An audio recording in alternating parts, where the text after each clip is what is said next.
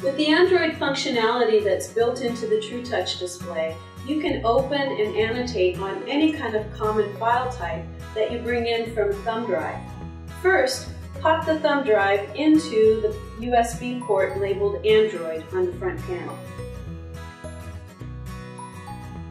Now, you can access files on that thumb drive by either pressing here or here.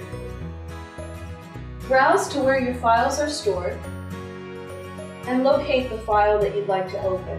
Here, I'll open a PDF. Select the application to open the file. And the first time that you do this, you'll have to accept the license agreement. First, minimize the Android toolbar at the bottom, and then press Accept.